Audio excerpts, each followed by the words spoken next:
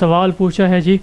मुआज ने कराची से पूछते हैं कि उलमा कहते हैं कि चारों फ़िका बरहक हैं, लेकिन महज ख्वाहिशात या आसानी की वजह से फ़िका तब्दील करना जायज़ नहीं। सवाल ये है कि अगर चारों दुरुस्त हैं और कोई अगरचे आसानी के लिए ही किसी दूसरी फ़िक पर अमल करता है तो वो इस्लाम पर ही अमल कर रहा है।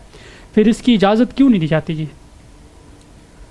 जी बस इसका मुख्तसर जवाब यह है कि इस्लाम पर अमल करना अगर इस्लाम की वजह से आदमी करे हम्म। तो फिर तो ठीक है। लेकिन अगर इस वजह से करे कि उसका नफ्स का ख्वाहिश यही है तो फिर इस्लाम पे भी अमल का कोई फ़ायदा नहीं है कोई सवाब नहीं है। तो ऐसी सूरत में जो आदमी दूसरे मज़हब पर अमल करता है वो इस्लाम होने की वजह से नहीं करता क्योंकि जिस मज़हब में वो था पहले और जिसकी वो तकलीद कर रहा है तो वो भी तो इस्लाम है। उसको किस बुनियाद पर इसने छोड़ा है? अगर इस्लाम की बात है तो तो वहाँ भी है।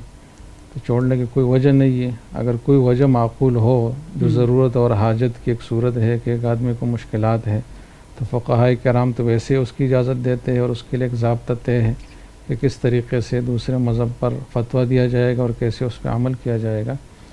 तो अगर मजबूरी है तो उसका हल मौजूद है और फ़ुकहा ने ख़ुद दिया है। और अगर मजबूरी नहीं है महज नफ्स का ख्वाहिश है तो हकीकत में नफ्स की ख्वाहिश की पैरवी हो रही है नाम इस पर इस्लाम का लगाया जा रहा है। हम्म। तो ये दोनों ज़रा बारीक चीज़ें, फ़र्क इसमें करना पड़ेगा। और जब आदमी किसी हुक्म पर इस वजह से अमल करता है कि ये उसके नफ्स का तकाजा है तो उसको सवाब नहीं मिलेगा। तो इस वजह से इससे मना किया जाता है।